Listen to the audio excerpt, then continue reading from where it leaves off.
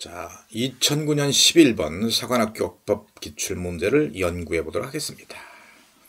자, 우선 늘 하던 대로 단어 수거를 먼저 봅니다. words and phrases입니다. immigrant. 다른 나라에서 들어온 이민입니다.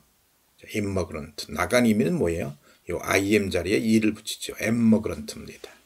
그 다음 descendant. 후손이라는 거지요. 다음 colonial. 식민지의 territory 영토 recent 최근의 phenomenon 현상 dubious 의심하는 미심쩍어 하는 assumption 가정 settle 정착하다인 것이지요. 자, 그럼 문제로 가봅시다. 보시면 이즈냐 아냐 뭡니까 이게 주어가 단수냐 복수냐 수의 일치를 묻고 있는 거지요. 봤더니 이게 이제 주어고 여기서부터 여기까지가 아, 주어를 수식합니다. 따라서 주어가 단수네요. 그러니까 이진 것입니다. 자, 이 부분은 여기를 이제 참고하시면 되고요. 자, 올라가 봅니다. Between 4 and 5% of the present population of Britain are either immigrants or the descendants of immigrants from former British colonial territories in the Caribbean or in South Seas. 보시면 자 영국의 현재의 인구의 4 내지 5%는 타국으로부터 들어온 이민이거나 아니면 아니면 카리브해나 남아시아의 그 과거의 영국의 식민지였던 곳에서 온 이민자들의 후손들인 것입니다. The movement of people from these parts of the world to Britain in any large numbers is a recent phenomenon dating from the 1950s.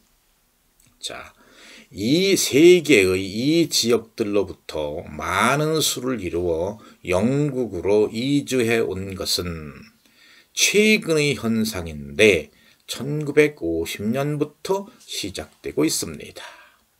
다음. 자, B번의 대시냐 위치냐를 묻는 것이지요. 비교적 어렵습니다. 자, 앞, 그런데 앞에 명사가 있어요. 그리고 여기서부터 여기까지 그 명사를 수식하는 형용사절이거나 아니면 아니면 동격절이거나 그런 것 같아요. 그런데 분석을 해보면 얘가 여기서부터 여기까지가 주어지요. 그 다음에 여기서부터 여기까지가 완전 구조인 수동태 형식으로 되어 있는 동사지요. 그렇죠? 그러니까 이게 이제 완전 구조란 말이에요. 그럼 완전 구조를 취할 수 있는 것은 접속사 대시지요. 그렇죠?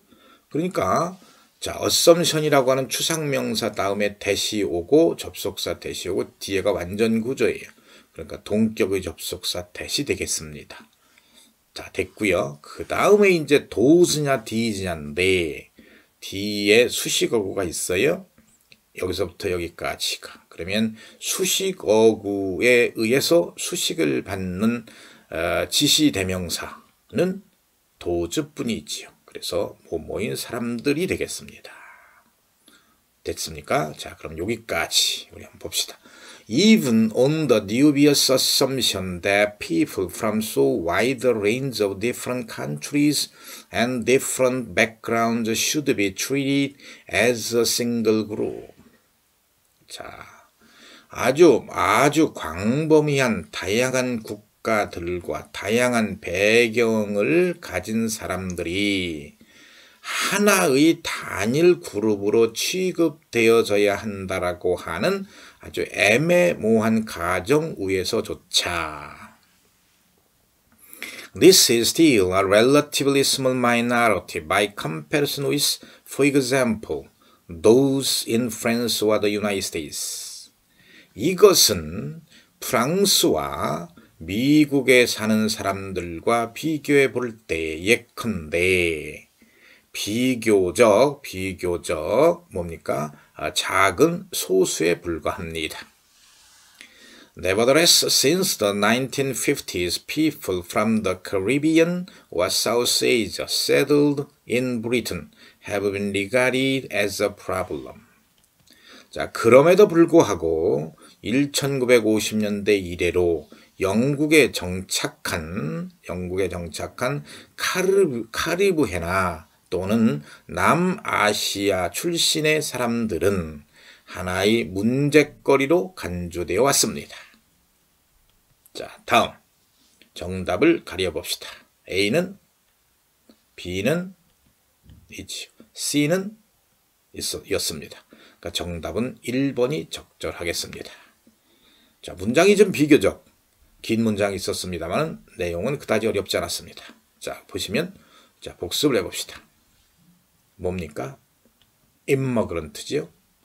자손 후손 descendant 식민지 colonial 영토 territory 최근의 recent 현상 phenomenon 의심하는 미심쩍하는 불확실한 dubious 가정 assumption 정착하다 settle 이, 이 단어 수거를 문제 끝난 다음에 그냥 다음 문제를 하면 되는데 왜 할까요? 이것은 마치 그 운동을 하고 운동을 하기 전에 몸을 풀고 그 하잖아요. 그리고 운동을 한 다음에도 적절히 이 그 마무리 운동을 하잖아요. 하는 식으로 이 단어 수거를 꼭 복습을 해둬야 어, 조금씩 조금씩 누적이 되어서 여러분 실력 향상에 매우 도움이 됩니다.